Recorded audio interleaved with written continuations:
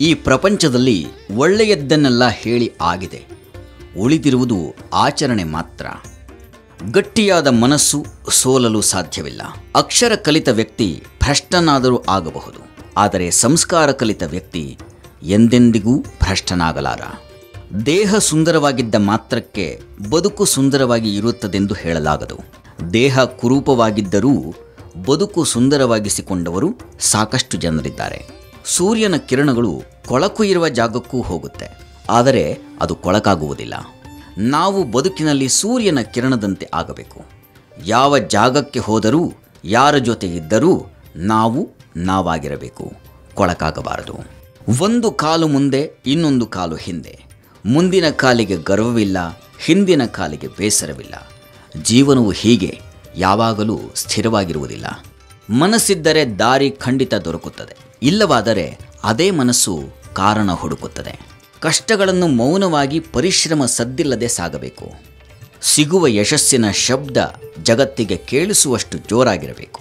ಮಡದಿ ಬಂದ ಮೇಲೆ ಒಡಹುಟ್ಟಿದವರು ಭಾರ. ಆಸ್ತಿ ಭಾಗವಾದ ಮೇಲೆ ಹೆತ್ತವರು ಭಾರ.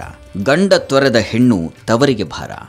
ಮೋಹ ಕಳೆದ ಮೇಲೆ ಸಂಸಾರ ಭಾರ. ಅವಶ್ಯಕತೆ ಮುಗಿದ ಮೇಲೆ ಎಲ್ಲವೂ ಭಾರ. ಎಲ್ಲವೂ ಸಹಿಸುವ ಗುಣವಿದ್ದವನಲ್ಲಿಯೇ ಎಲ್ಲವನ್ನೂ ಎದುರಿಸುವ ಶಕ್ತಿ ಇರುವುದು.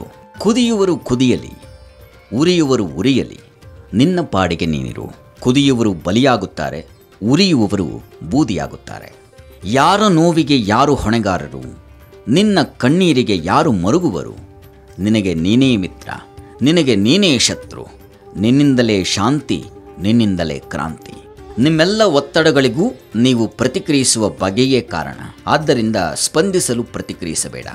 ಜೀವನದಲ್ಲಿ ಕೆಲವರು ನಿಮ್ಮ ದಾರಿಯಲ್ಲಿ ಕಲ್ಲೆಸೆಯುತ್ತಾ ಇರುತ್ತಾರೆ. ಆ ಕಲ್ಲುಗಳಿಂದ ಗೋಡೆ ಕಟ್ಟುತ್ತೀರೋ, ಸೇತುವೆ ನಿರ್ಮಿಸುತ್ತೀರೋ, ನಿಮಗೆ ಬಿಟ್ಟದ್ದು. ನೆನಪಿರಲಿ, ನೀವೇ ನಿಮ್ಮ ಬದುಕಿನ ಶಿಲ್ಪಿಗಳು.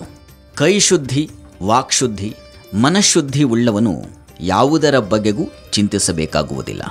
ಕಡಿಮೆ ಮಾತನಾಡಿ, ಮೆಲ್ಲಗೆ ಮಧುರವಾಗಿ ಮಾತನಾಡಿ ಗೌರವದಿಂದ ಮಾತನಾಡಿ.